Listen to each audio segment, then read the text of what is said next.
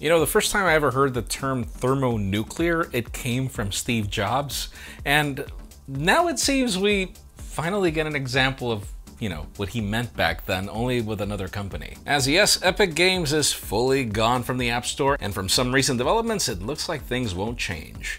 That OnePlus budget phone we were expecting might come way sooner than we thought, and if you thought the iPhone 12 was going to keep the price tag, it seems that won't be necessarily the case. I'm Jaime Rivera, and if there's anything I would really like right now is for anyone to figure out how to go thermonuclear on the coronavirus especially for that second wave. This is Pocketnow Daily, sponsored by MediaTek. Stick around to learn why you should pick MediaTek for your next purchase.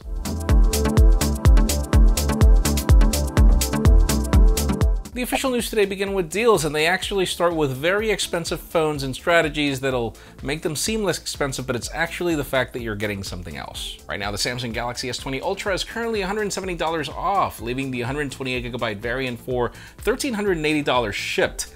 I know it's the same price, but it's because you're pretty much getting a free pair of Galaxy Buds Plus.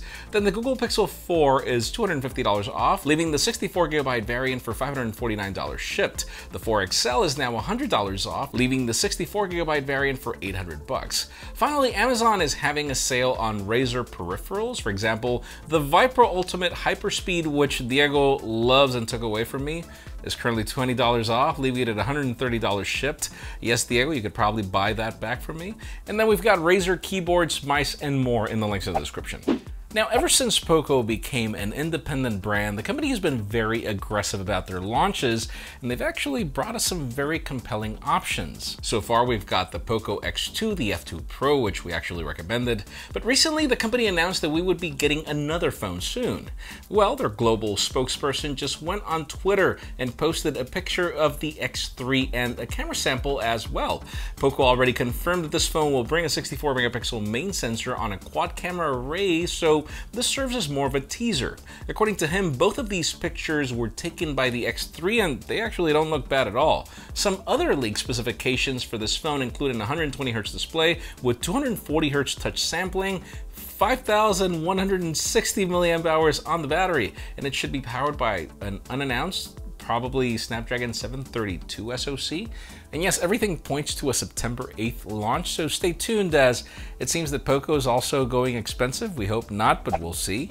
And then a couple of days ago, we covered this LG Wing device, which was a concept. Uh, we saw it leaked on a video, and uh, yeah, we were kind of scared because it was sort of shown off while driving, now that's not going to be the case. Now it's actually the passenger, but we get to see more about what to expect from this phone. On this new 10 second clip, the person on the passenger seat is playing Asphalt on the main display, which is set horizontally, while getting driving directions on the vertical secondary display, which is at the top this time. Now what's interesting is that this time it seems the phone was set into a different position when compared to last time, meaning that it'll feature multiple ways to play around with both displays instead of a single position. Now sadly we don't have any more information over, you know, what to expect, price tag, launch time frame, anything. But yeah, LG, um, you've got my attention.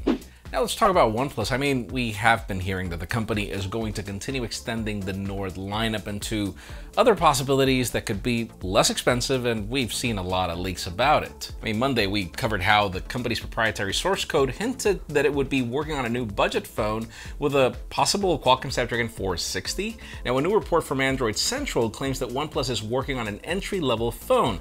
This is powered by that probable Snapdragon 460, and the report mentions that the launch is imminent and that this device will be made available in global markets, including the United States. Apparently, the code name for this phone is Clover. It will feature a 6.52 inch 720p LCD display, then 4 gigs of RAM and 64 gigs of expandable storage. I know, expandable, finally OnePlus. And it could also pack, listen to this, a 6000 milliamp hour battery 18 watt fast charging, and a triple camera array at the back, which would include a 13 megapixel main sensor and two 2 megapixel sensors. Like seriously, OnePlus, just stick to one camera. But it is also rumored to cost around $200. Now, moving on, it looks like the company is also working on a smartwatch as well. Apparently, there's this OnePlus watch that got certified in Singapore, revealing the model number. It's most likely running Wear OS on a Qualcomm Snapdragon Wear 4100, and it'll reportedly have the design similar to the Oppo watch, so you know what this means, it could be launched along with the OnePlus 8T. We'll keep you posted. Now, we've been covering every single thing that Apple will probably do to keep the same price for the iPhone 12. The idea that we're not getting many peripherals, probably just the cable, no charging adapter, no earbuds, and I mean, we saw with the Galaxy Note 20 Ultra where we don't get earbuds anymore. But apparently, we're still gonna get a price hike. See, according to a new report from TrendForce Analytics, it looks like we're getting some more expensive devices after all, even with the accessory cut. According to them, these iPhones might be 50 to $100 more expensive than the 11 series.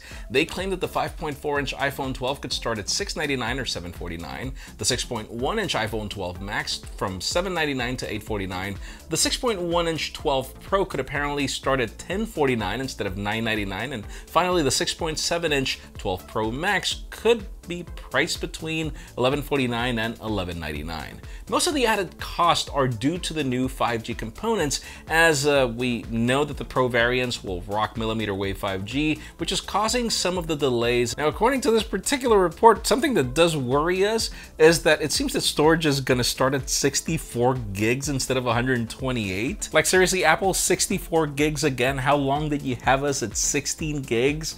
I think it was up to the iPhone 6s Plus like Seriously, 64 gigs? That's insane. Not for that price.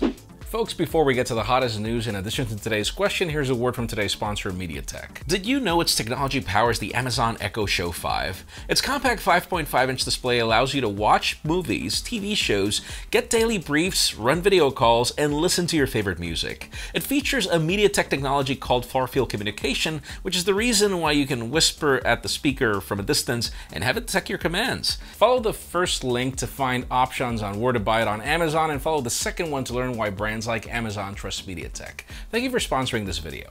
But yes, finally, the hottest news today have to do with Epic Games and Apple going thermonuclear at each other because clearly they were not joking around in each of their premises. Just for context, if you remember, Fortnite has been banned from the App Store since August 13th when they violated the terms of service by adding an in-app payment option to their cosmetic store.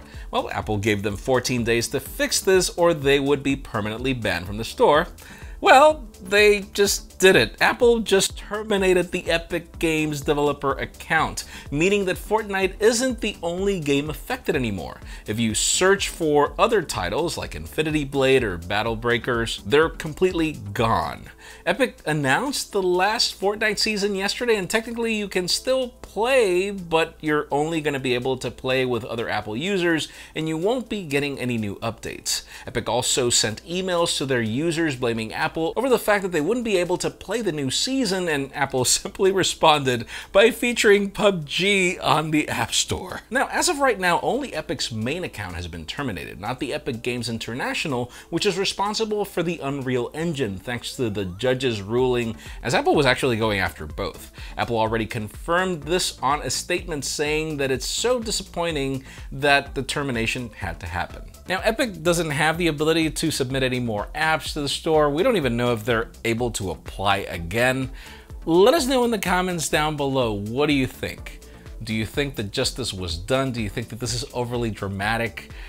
Honestly, I think it is. And I think it's overly dramatic from both parts. Like, seriously, I mean, Apple's terms are there. I'm not saying they're good, but every company signs them if they want to be part of the store. Uh, if you remember how software distribution was before the App Store, I mean, developers would have to pay a huge cut to retail stores. It was like 60%. So this is the reason why the App Store became so popular. They cut that 60 to 30%. I'm still not saying that it's adequate. I'm saying, sure, companies like Epic should get a different treatment. I get it, they have scale. But at the same time, I mean, I think that just Epic was trying to test the waters and I don't know. I think they got owned. But this is just me. Let us know in the comments what you think, because obviously I do feel that a termination and a ban is probably, again, too dramatic. Friends, again, if you want to get the news earlier, follow us on PocketNow.com and subscribe to our channel for more videos like this one. Also, follow us on social medias. Our extended coverage happens on Instagram, and follow me on my personal handles to see me. God, I don't even know what to say anymore to see me stay at home still. Please give this video a thumbs up if you like what you saw. I'm Jaime Rivera, thanks so much for watching. We'll see you next week.